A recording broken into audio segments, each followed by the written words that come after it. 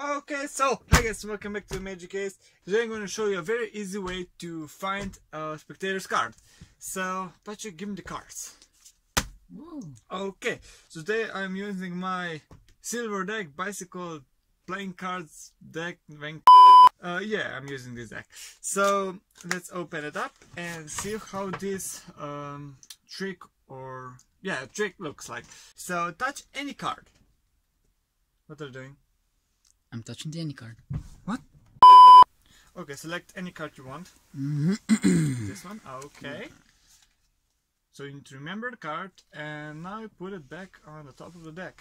So now I just closed your card, I can square it up. It's really in the middle of the deck. Well, some in the middle of the deck. So uh, as you know, it's pretty hard to find the card from all the cards that are in the deck. So I'm gonna use I'm gonna help myself with magic. And you know how magic works? You just need your fingers and your desk. No. What? I need the magic stick. Oh, yeah, I need the magic stick. Haha! uh, magic stick, um, magic words. Shit. Okay, so that didn't work, so let's try something nicer.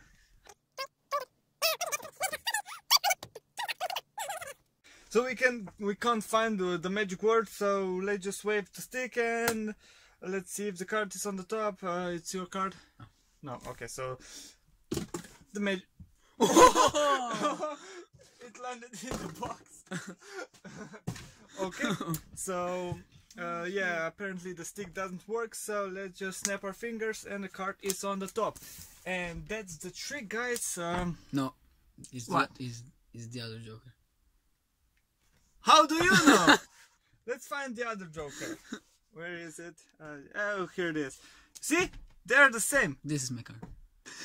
Okay, so unfortunately, this is for now, guys. Thanks for watching, and I'll catch you next time. Bye!